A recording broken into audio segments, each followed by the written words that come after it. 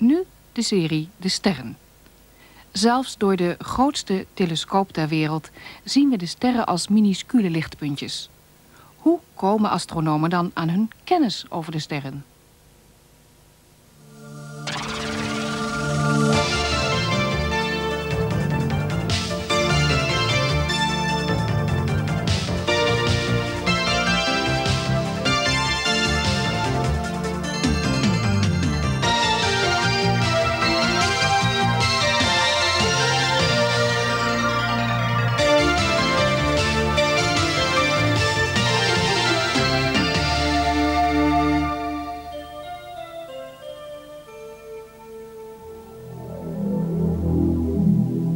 Departure, the Andromeda Galaxy, two and a quarter million light years distant. Destination, planet Earth.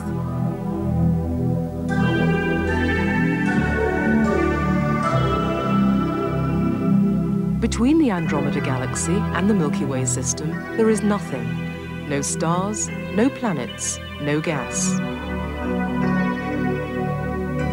The Milky Way, our galaxy, slowly swims into view. Each of its 200 billion stars is an incandescent ball of hot gas.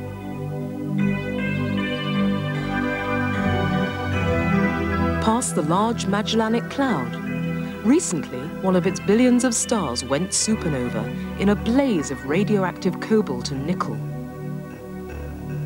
The dazzling star Canopus, 200,000 times brighter than our Sun, now lies to the left. It has a magnetic field a thousand times stronger than the Earth's. Now passing Betelgeuse, a cool red giant star that could swallow 400 million suns. 4.3 light years out, past the closest star to the solar system, Alpha Centauri. And that's the sun dead ahead. Final destination, planet Earth, and the Anglo-Australian Telescope near Coonabarabran, Australia.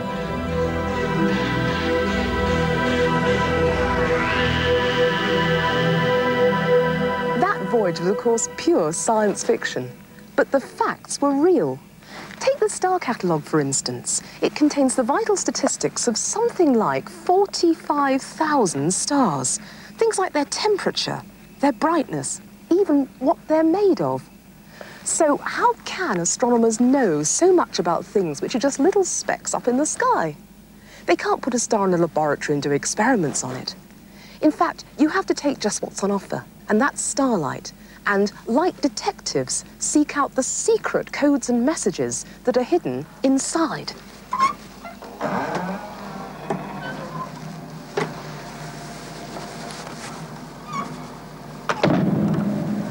To read those messages loud and clear, you need to gather as much light as possible.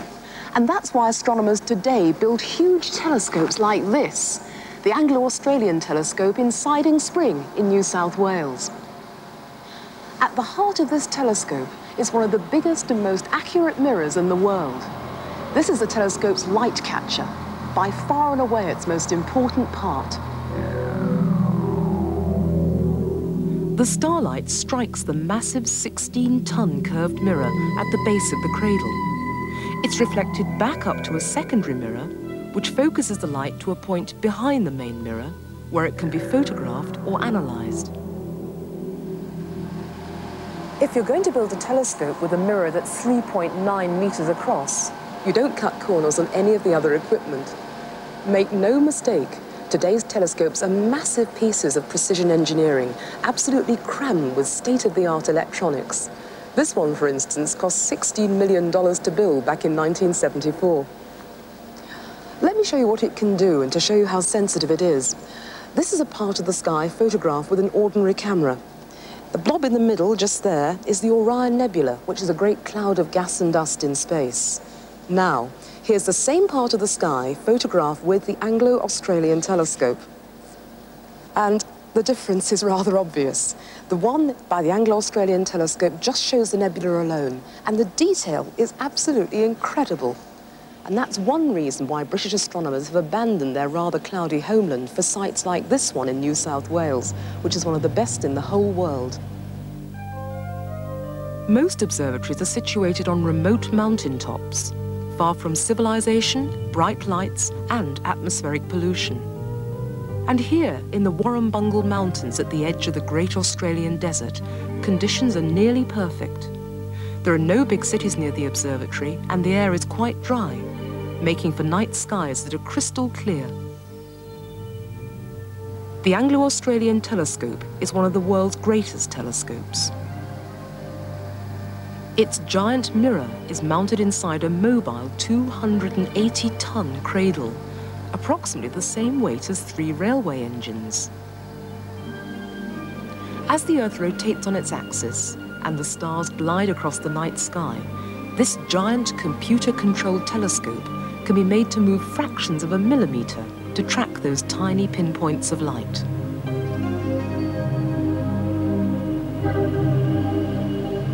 Telescope as an individual and built to its own specifications. And Peter Gillingham, who knows more than anybody about the ins and outs of the Anglo-Australian telescope, was the engineer who supervised its construction. The Anglo-Australian telescope has uh, quite a good reputation as being one of the very best telescopes in the world. There are really only two or, if you like, three telescopes that are significantly bigger.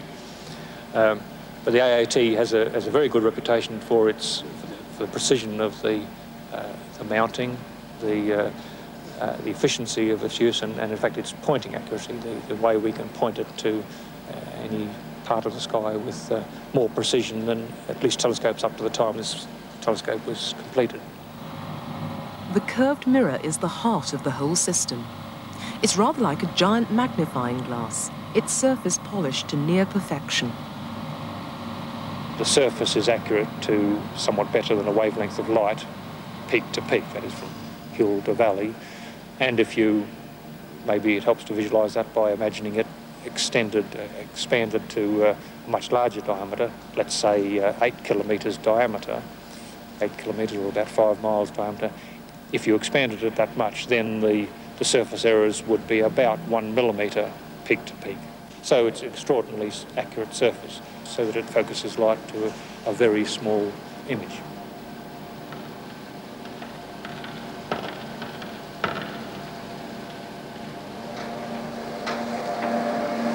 I've come down here, beneath the mirror, to the place where the starlight is collected. Professional astronomers haven't looked through telescopes for years now. After all, you can't record what you see, and you can't actually see it except fleetingly. Somehow, you have to store and preserve what the telescope takes in, and the simplest way to do that is with a camera. Today's astronomers use cameras like television cameras, like this camera just here. This camera can record stars that are something like 16 million times fainter than the ones you see with your unaided eye. That's as faint as a candle on the moon. Taking photographs with a large telescope totally transforms our impressions of the heavens. With long enough exposures, we can see colors and objects invisible to our insensitive eyes. Pictures like this are the first step in gathering all the different bits of information we need to find out what stars are. That stunning photograph was taken with the Anglo-Australian telescope by one of the world's greatest astrophotographers, David Malin. It's a fantastic feeling sitting there at night, taking photographs of the sky with the stars behind. I mean, you can, you can turn around and look at the night sky and the stars are sparkling there. But also I like to get them in the laboratory and extract photographs from them. When you fish the plate out of the fixer, you're looking at something that nobody's seen before because the eye isn't sensitive enough to see any of this. Even when you look through this telescope, which is a very unusual thing to do, but occasionally have a quick, a quick glance, you don't see these objects at all, often just a faint wisp of grey filaments. But when you get in the darkroom and fish the plate out of the fixer, it's covered in nebulosity and stars and things of interest, and you know you have a winning picture. David Malin's pictures tell us only part of the story. To find out more about the messages hidden in starlight, many astronomers need to adopt a more high-tech approach. Here's the same part of the sky, the Orion Nebula, captured with a more sensitive electronic camera called a charge coupled device. It's registering infrared or heat radiation from young hot stars. The business is being taken over by electronic detectors. They have all kinds of advantages. For instance, their data is digital and they can talk directly to computers. But they're only limited to a tiny part of the sky, about the size of a postage stamp, whereas my plates are 10 inches square. And so I can look at wide angles of sky. Although their plates are much less sensitive than the charge coupled uh, device, they give you a much bigger patch of sky to play with. Today, astronomers can examine starlight and work out how hot, how far away, and how big stars are, and even what they're made of.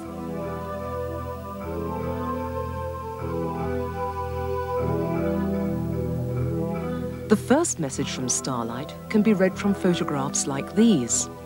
They reveal the true colors of the stars. But what causes these different colors?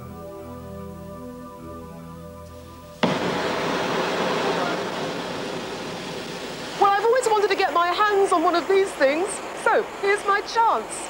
Everybody knows that a cold substance, like this metal bar here, doesn't give out any light.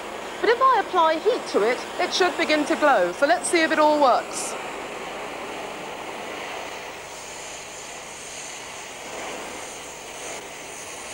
It's beginning to give out a red glow. That's the first stage. Now let's see what happens if I heat it a bit further. Off we go again. Now, as you can see, the glow is distinctly orange and it's getting quite a bit brighter. So let's carry on heating it and see how far we can take it.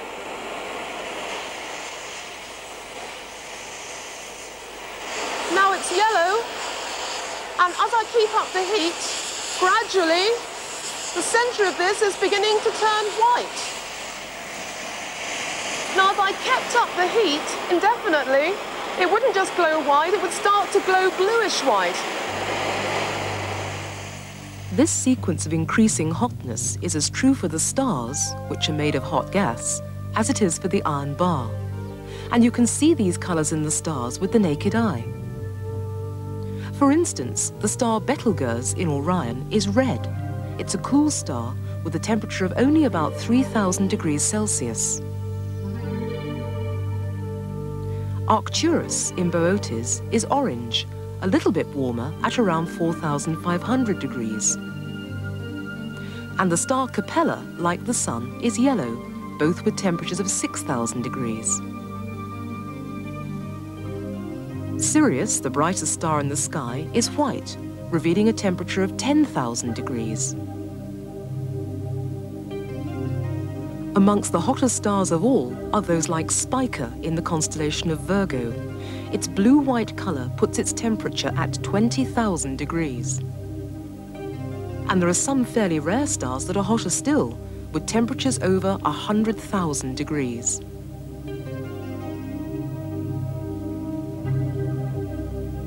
Another message hidden in starlight is a star's brightness, which tells us how quickly it is burning its nuclear fuel.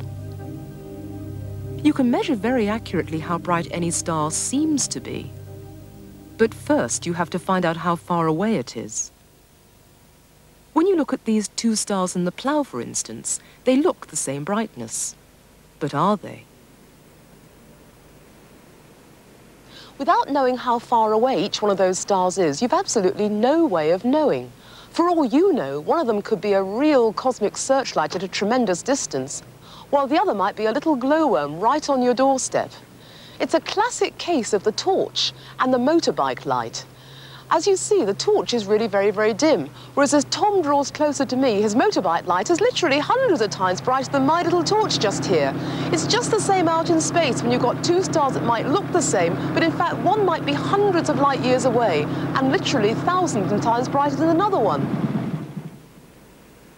So how do you measure the distances to the stars? The answer is with great difficulty. That's why nobody succeeded in doing it until midway through the last century. At least the idea behind it is straightforward enough. It relies on the fact that when you look at a nearby object from two different vantage points, it appears to shift against a distant background. To give you an idea of what I mean, let's kill those lights and imagine that my torch here is a nearby star. The lights you see in the background behind me are those of a distant town. They're like the distant stars you see in the sky. Now, I'm going to stay completely still, but what you're going to see is my torch, our nearby star, viewed from two different vantage points as the camera begins to swing from one position and then to another position. And as the camera moves, you can see the star is moving against a background of more distant stars which are completely fixed.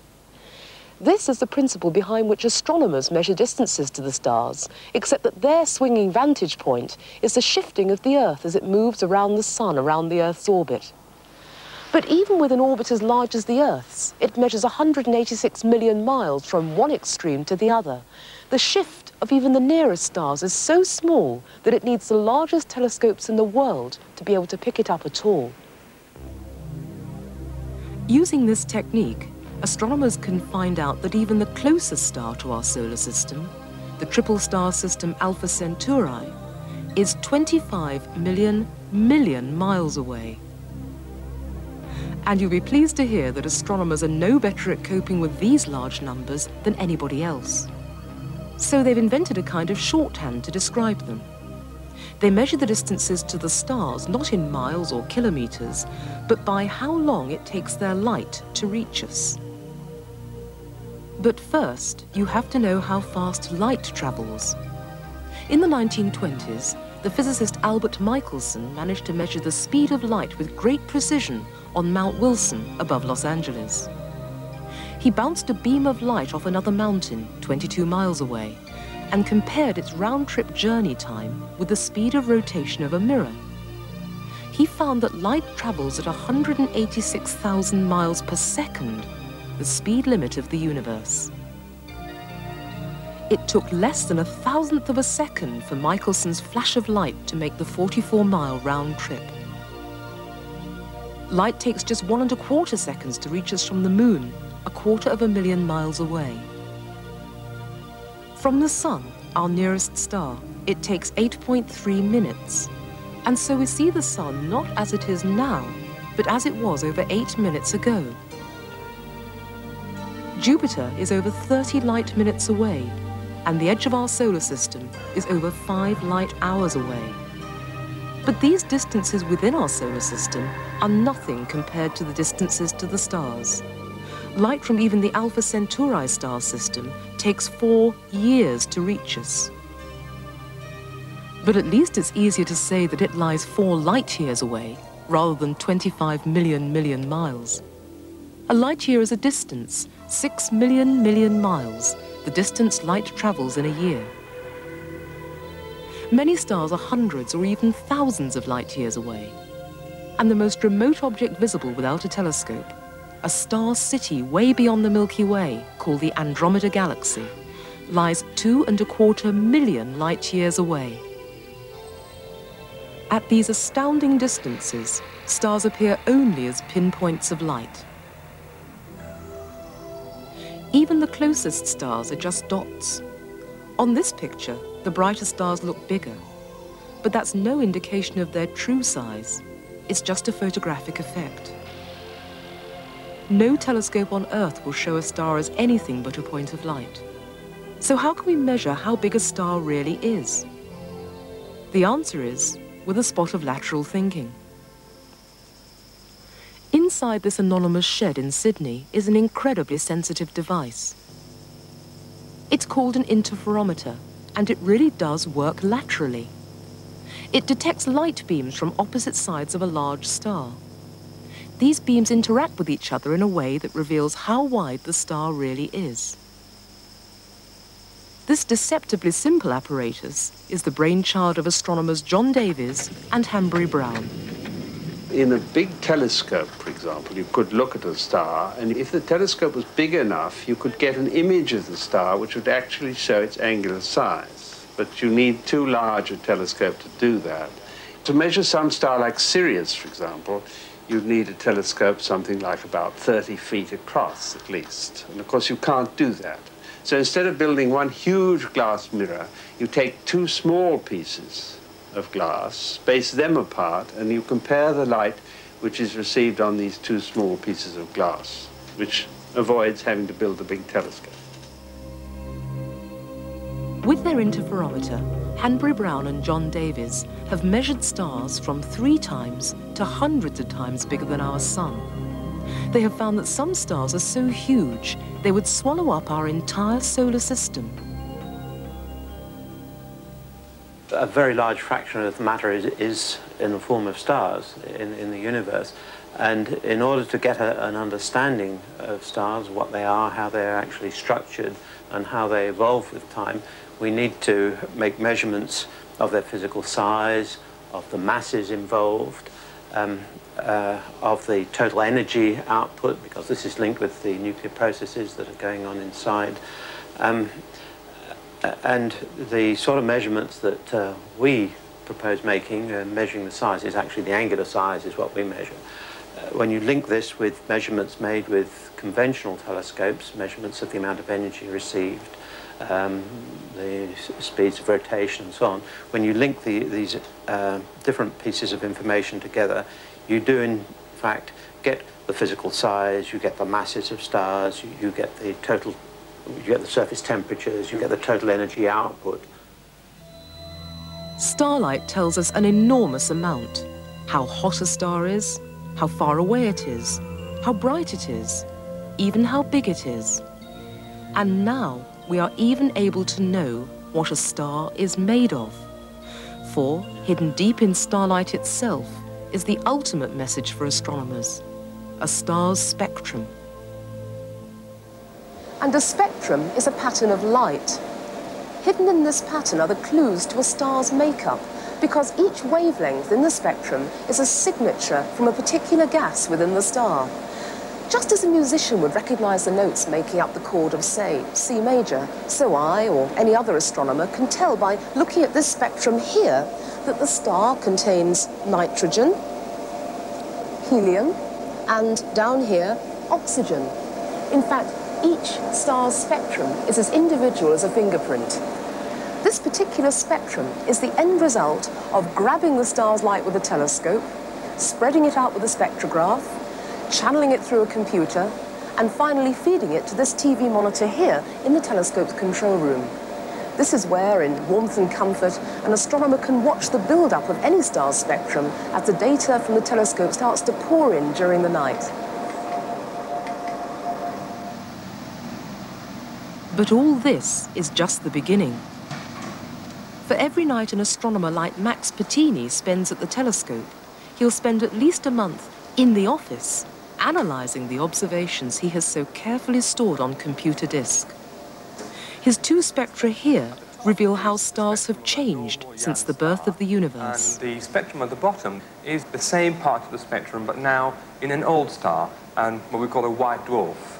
And there is a great deal of information that astronomers can deduce by comparing these two spectra. Um, for instance, the normal young star at the top um, as you can see, shows a variety of absorption lines. And each of these absorption lines, in fact, occurs at a very precise wavelength. And it is that wavelength that allows us to identify it as a signature of particular elements. The strongest feature is a line of hydrogen. Uh, in the old white dwarf star, which is at the end of its evolution, of its lifetime, uh, we can see very little other than the hydrogen line. And the reason for this is that when the old star formed a long, long time ago, hydrogen was pretty much all there was about in the galaxy for the star to form out of. And it's only uh, subsequently to that, only in later times, that the elements from which we are made, like iron and titanium, were in fact manufactured in the, in the galaxy.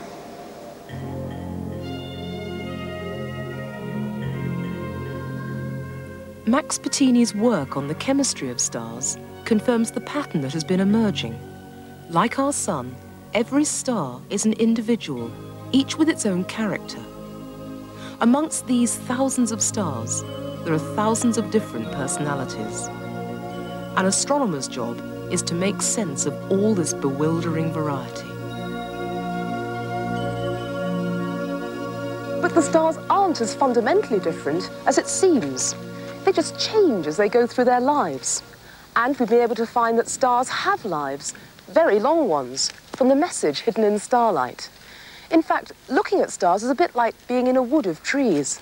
An alien visiting this forest would see all kinds of trees, big trees, small trees, and trees that had fallen down. Without too much thinking about it, he'd be able to work out that what he was seeing was different stages in the life of one particular kind of tree. And so, without ever seeing a tree grow, he could work out a tree's life cycle. This is no esoteric message for astronomers alone. By interpreting the message from the distant stars, we can understand more about our own star, the Sun, the star that our lives depend upon.